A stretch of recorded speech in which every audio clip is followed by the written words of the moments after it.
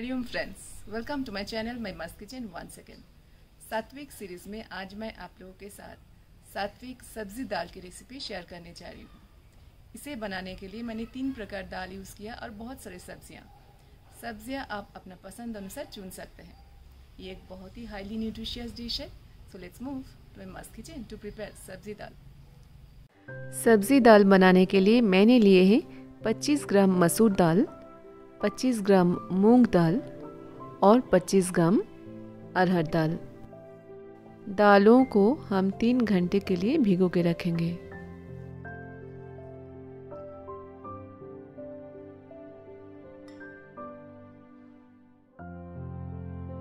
सब्जियों में हम लेंगे कुछ बीन्स, एक गाजर 20 ग्राम हरा मटर एक फूल गोभी से छोटा सा हिस्सा काट करके उसे छोटे छोटे पीसेस में काट लेंगे और लेंगे कुछ पालक के पत्ते।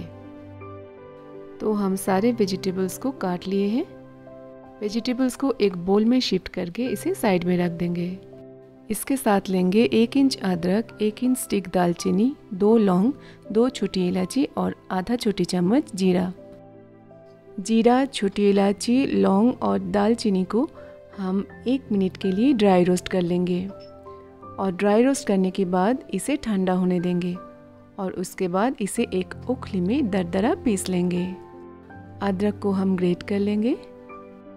इन दोनों चीज़ों को हम तैयार रखेंगे। अब हम गैस ऑन करेंगे और उस पर आठ दिन पॉट चढ़ाएँगे। आठ दिन पॉट में करीब डेढ़ मग पानी ऐड करेंगे। पानी आप थोड़ा कम ज़्यादा ऐड कर सकते हैं। अगर आपको दाल ज़्यादा थिक चाहिए तो कम पानी ऐड करें, वरना थोड़ा ज़्यादा ही ऐड करें। आप दाल में हम हिमालयन पिंक सॉल्ट स्वाद अनुसार ऐड कर देंगे। भीगी हुई दाल को हम अच्छी तरह धो लेंगे और उसके बाद अर्दिन पॉट में ऐड कर देंगे। एक तिहाई छोटी चम्मच हल्दी ऐड कर देंगे। और इसके साथ अदरक पेस्ट ऐड कर देंगे। अच्छी तरह मिक्स कर देंगे।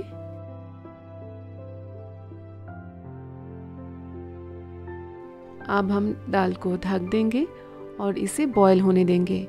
बॉईल करने के लिए हम फ्लेम को बढ़ा देंगे। बिल्कुल हाई पर कर देंगे। दाल उबल गया है। अब हम ढक्कन को खोलेंगे और इसमें जो वेजिटेबल्स हम काट के रखे थे, वो ऐड कर देंगे। चम्मच से एक बार मिक्स कर देंगे।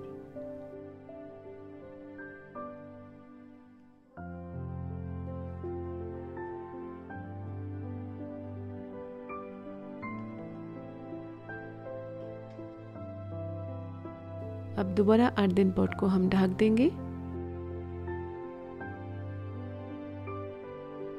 और इसे एक बार उबाल आने देंगे।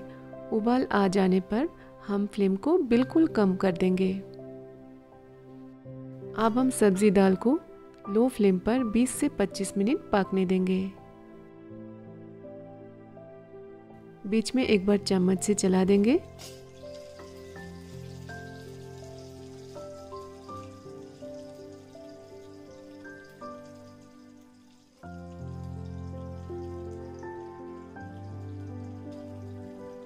अब दोबारा ढक देंगे। करीब 25 मिनट बाद हम दाल को चेक करेंगे। ये देखिए, दाल और सब्ज़ी पूरी तरह पक करके तैयार हो गया है। ये देखिए, इसमें मुझे पानी थोड़ा ज़्यादा लग रहा है तो इसे हम दो तीन मिनट और पकाएँगे। फ्लेम को हम हाई कर देंगे और हाई फ्लेम पर इसे दो तीन मिनट और पकाएँगे।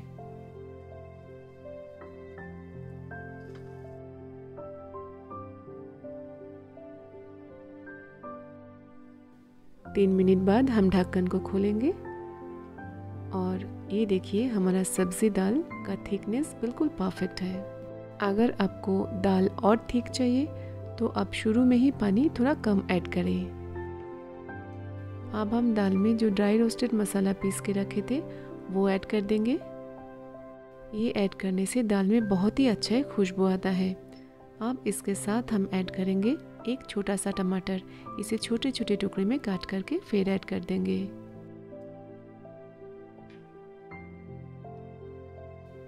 दो बड़े चम्मच धनिया पत्ता छोटे छोटे टुकड़े में काट के ऐड कर देंगे। अब एक चम्मच घी ऐड कर देंगे।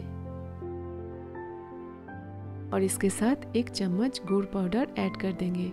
ये ऑप्शनल है। अब इन सारी चीज़ों को सब्ज़ी दाल के साथ अच्छी तरह मिक्स कर देंगे।